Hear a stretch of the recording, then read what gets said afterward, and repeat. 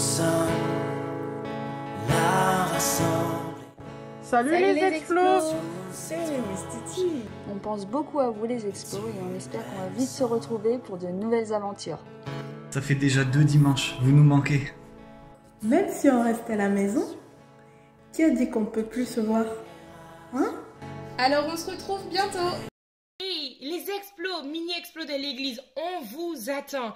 Alors rendez-vous mercredi à 16h30.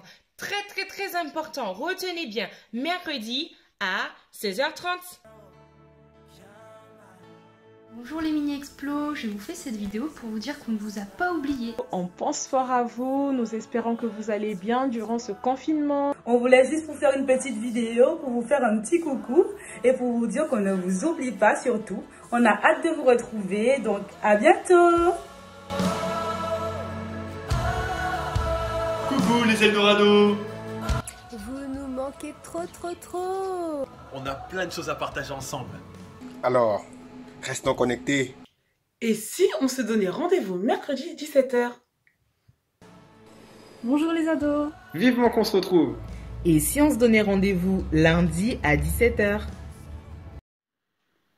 On vous envoie très bientôt tous les détails sur votre téléphone.